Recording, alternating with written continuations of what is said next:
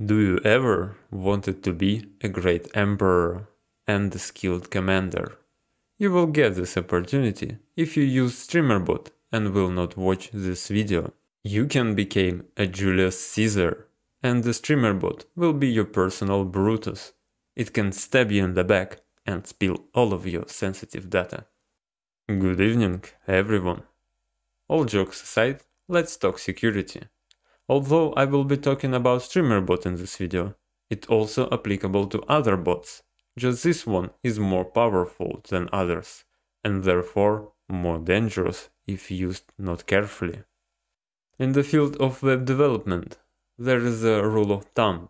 Never trust user input. In case of the StreamerBot, you should never trust extension developers. You should only install extensions from trusted sources with the open source.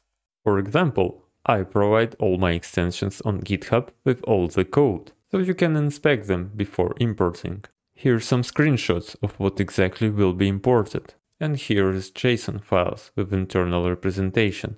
Your actions look like that after you import them. Here is the same actions, but in the streamer bot itself. They are stored in actions JSON. Using some extensions, you can at best get a broken one, which uses deprecated methods. And at worst, you can get yourself hacked.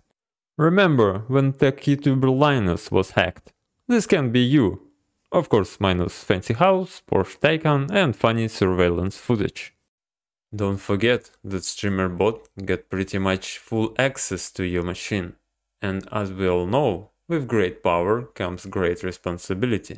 StreamerBot can do pretty much anything a user can do. And if for some reason you're running it as admin, you are just asking for troubles. And if additionally you disabled user control, you are just a madman. What I will show you is actually not so new. It could have happened to anyone a long time ago if they hadn't been careful. But after what I saw in the new alpha, I have significant concerns. As you should know, to import some extensions, you need to grab a special import code in form of a weird string of characters, or in form of a file, which actually just a text file with the same string.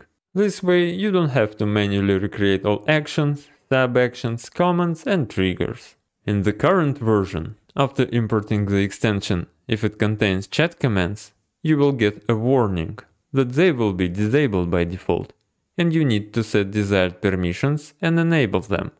It's basic security measure. Then you can inspect it and understand, to some extent, if it does something harmful. Now let's look at the new alpha.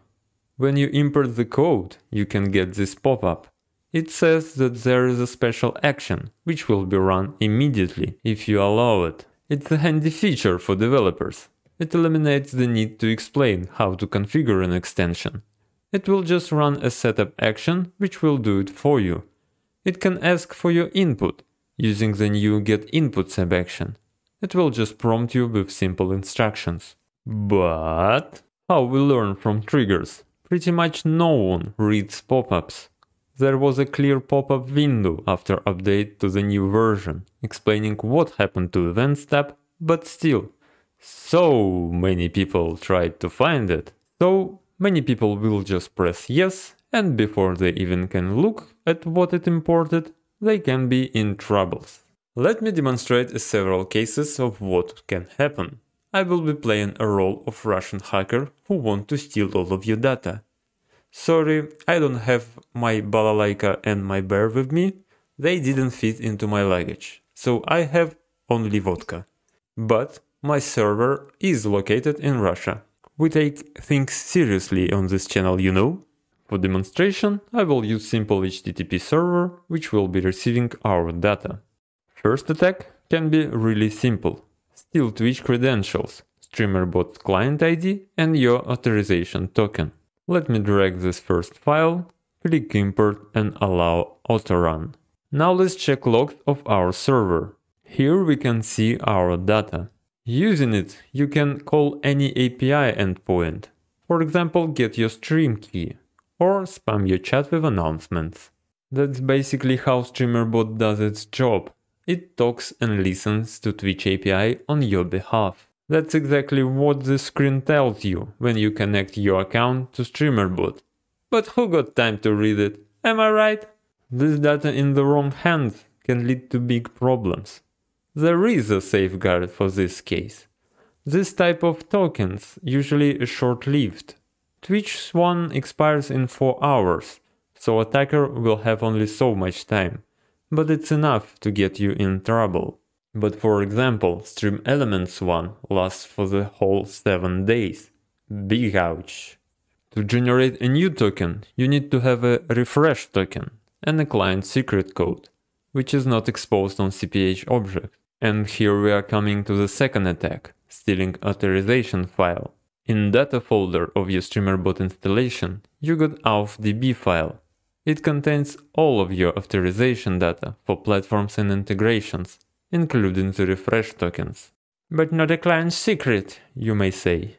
Oh, I will show you that he doesn't need it. Here attacker got two ways. He can either read this file and send data from it, or just send the whole file. And I'm using this file only as an example. It can be any file on your system, or even network, depending on your setup. Let's import this file and let it run. Check the server logs. Here we can see our data transferred to our server. And with this file imported, we see that file was sent. And if I open it on the server, I can see all the data.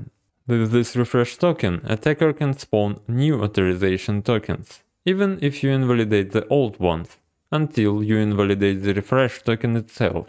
And that's how it's done. I will create a data folder in this new StreamerBot install drop this file in it and start the app.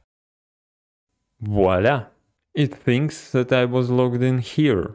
Now let's grab our current token and invalidate it. Let's check that we lost control over the chat. We can see no new messages in the chat and error in the logs. Now we can just go into account settings, log off and log in back and we got ourselves a new token. And again can post in the chat.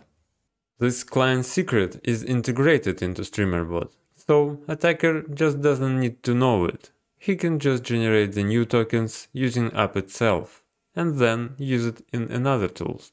If you encounter such attacks, you need to immediately change your passwords and revoke access to the application.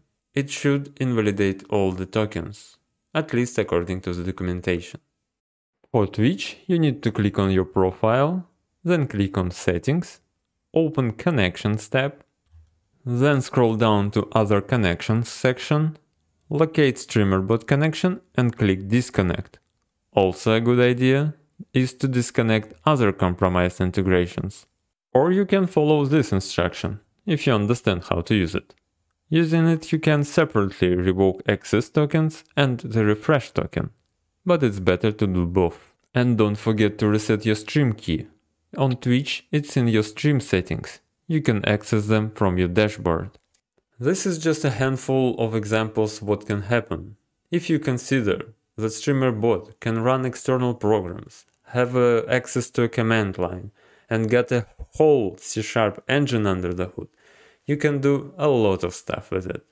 Starting from trolling Windows and running mouse, and all the way to a ransom attack. But I don't want you to get scared or phobic, although it's Halloween season. And of course not to drive you off the streamer StreamerBot. I want you to just remember one thing. Always sanitize your input. Read the freaking text. And as always, please the algorithm. Have a good evening and bye bye.